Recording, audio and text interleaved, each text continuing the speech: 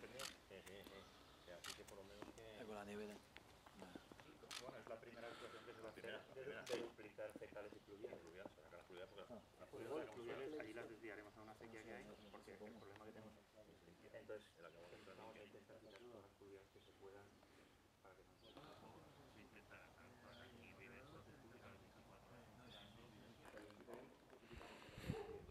se un convenio que no sea abrir una calle, entonces abrir una calle ya.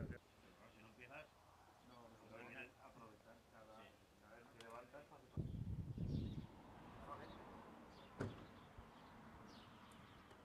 Después de haber vivido el temporal más intenso de las últimas décadas en nuestra, en nuestra provincia, tuvimos la capacidad de tener una respuesta inmediata, facilitando la normalidad a la gente.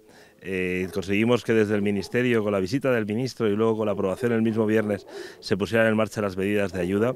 Y ayer mismo coordinábamos en Madrid, con la Dirección General de Costas, las reparaciones en el litoral. Hoy, desde la Diputación, queremos poner en marcha una oficina de atención a todos los ayuntamientos, a todos los afectados, para coordinar que las ayudas que el Gobierno ha puesto a disposición de todos los afectados por el temporal puedan llegar hasta el último extremo, hasta el último rincón de la provincia y con ello facilitar que se pueda recuperar no solo la normalidad, sino también el elevado coste que muchos ayuntamientos han tenido que asumir y que ahora por parte del Gobierno de España va a ser asumido.